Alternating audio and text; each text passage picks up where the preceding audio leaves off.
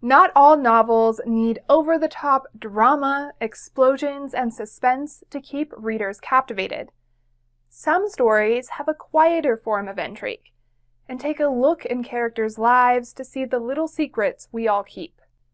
So today I want to talk about one such novel, Newcomer by Keigo Higashino, How to Read Like a Writer.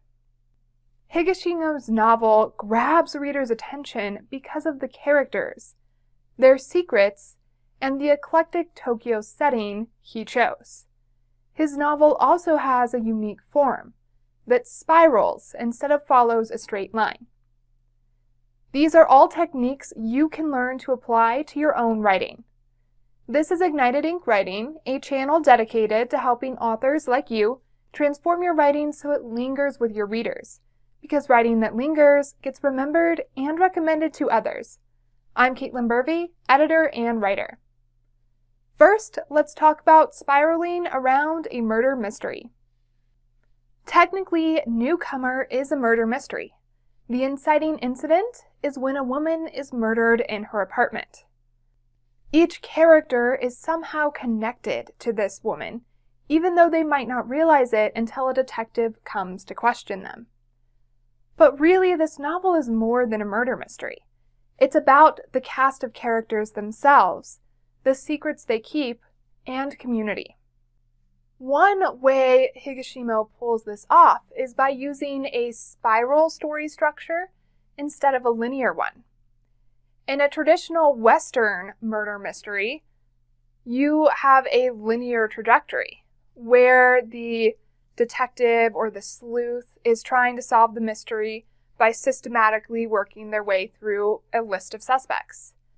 But that's not how this story works.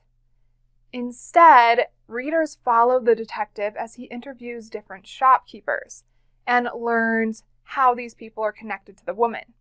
Higashino starts with the people metaphorically farthest from the murdered woman and spirals in closer to her inner circle and to a potential suspect.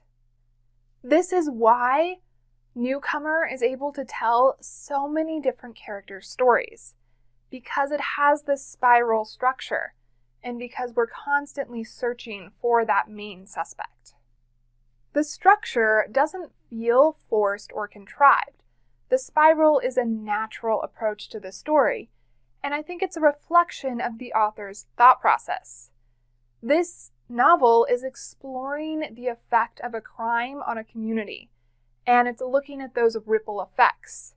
It's also showing how people are connected in a web of those little tiny secrets and lies we tell each other just to get through the day. Many genres, like murder mysteries, have a fairly strict formula that authors are sometimes expected to follow. But what happens if you break out of that formula? What happens if you have a story that needs a different approach? Well, then you might be looking at something like Newcomer, that is about more than whatever your genre's typical story is about. And it might call for a different structure. So don't be afraid to approach your story differently, to look at it from a different perspective, because that might be the best choice for you. Next, I want to discuss character driven. Every person has a story. Newcomer is about community connections and how people are connected to each other when they don't even realize it. Not only are these shop owners connected to the victim, they're also connected to each other. There's a web that's pulling this community together. Similarly, everyone has struggles and triumphs happening at any given point in their lives. Everyone is living their own story in Newcomer. At the same time, everyone has their own little secret. A white lie they might tell someone to avoid hurting their feelings. An indiscretion they're trying to keep hidden. Or maybe it's something embarrassing they're trying to mask. All of these secrets are seemingly small, but have a large impact on these people's lives. This works because Higashino is a master at quick character development. These characters are immediately fleshed out when they step onto the page, because Higashino knows their motivations so well, and he has captured those key pieces of their personality in just a handful of lines. What that means is each character is interesting. So a reader not only wants to know a little bit about them, they want to take those tangents to learn about these different families as they spiral closer to the murder mystery suspect. Character development is key to the success of the structure Higashino chose. If you have well developed characters, readers are often willing to go along with you when you experiment and try something else. So if you want to try something in your story, whether it's a different structure or some other experiment, make sure your characters are well developed, they're fleshed out and easy to picture. So that piece of your story is well developed and something readers can latch onto as familiar and use to interpret the other experimental choices you are making. Also, remember characters are gripping when they are real. They have strengths and weaknesses. They have flaws. They keep secrets. They might have made mistakes. These are things that make them interesting. Perfect people don't really exist, and we don't really like to read about them. Also, each person wants something out of a given interaction, out of life, out of the next day. So if you can bring that desire across, that'll show the stakes of the story for that individual character, which will up your tension, which will give you a sense of suspense, and it will make your story more interesting. It'll drive it forward. Character development is key to the success of any type of story. Next, I want to share how your setting is your game board. The setting is crucial to the success of Newcomer. The area of Tokyo Higashino chooses to focus on gives that setting its own distinct personality, so the place almost becomes a character in its own right. This area of Tokyo is an eclectic mix of modern and traditional Japanese culture, Whereas other parts of the city have completely modernized, this area still holds on to some unique and quirky pieces of Japanese culture. That's what gives it its own distinct personality. It also brings the setting to life in a way that if a reader found themselves in Tokyo in this neighborhood, they might even recognize it. Also, this particular story could not be told in a different setting. Only this area of Tokyo has the unique blend of family units and master apprenticeship relationships for these eclectic shops. Only these people would be able to be connected to the murder victim without necessarily realizing it. So, this spiral story structure and this murder mystery itself could not really be told if Higashino tried to pick it up and move it to a different area of Tokyo or another place altogether. The setting is vital to the story itself. So, when you're picking a setting for your story, pay attention to these things. You want a setting that has a bit of a personality so that your reader can recognize it. It doesn't just feel like any place, it's the specific place your story is taking place. Likewise, your setting should impact your characters, and vice versa. Certain people just won't live in certain places.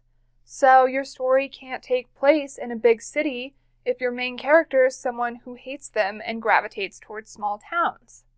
So remember to pick your setting so that it is the best place for your story. Also, certain structures just wouldn't work as well in certain places. If newcomer had been told in a more standard sort of neighborhood, this eclectic mix of shops wouldn't be there, so that spiral story structure wouldn't work quite as well. Think about your structure, your characters, and what your setting needs to do for your story before you just plop it in any old place. I want to leave you with why an editor recommends reading Newcomer. The techniques Higashino is using in this story can be applied to most stories. All types of people keep secrets for many different reasons. Secrets are an opportunity for both internal and external conflicts. So your characters can keep secrets. Setting is also vital to the success of most stories. Where the story takes place impacts the events, the characters, the obstacles, even the stakes of your story. So picking the right place, like Higashino did in Newcomer, is vital. These are not genre specific techniques, these are just good story techniques. So you can learn from them, see how he executed them, and apply that to your own writing. Higashino's use of these techniques are subtle and masterful at the same time. His book is quieter than a lot of novels in the same category, which is what makes it so special. He doesn't need all the fancy bells and whistles. He can pull off this story by just being a great writer. Now, you might not execute these techniques in the same way, but you can still learn from them.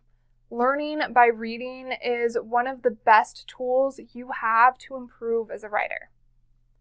So, what techniques from Newcomer might you want to try in your own writing? Share your thoughts in the comments below. And for more videos on how to read like a writer and other aspects of writing, subscribe to Ignited Ink Writing, a channel dedicated to helping authors like you transform your writing so it lingers with your readers. Because writing that lingers gets remembered and recommended to others. I'm Caitlin Berve, editor and writer. To find out more about me, go to www.ignitedinkwriting.com. There you will also find a guide to building strong settings, which will help you develop that aspect of your story. And now it's your turn to think about the techniques Higashino used and how you can apply them to your own story. You too can use well developed characters who might have secrets, an interesting and unique story structure, and setting to ignite your ink.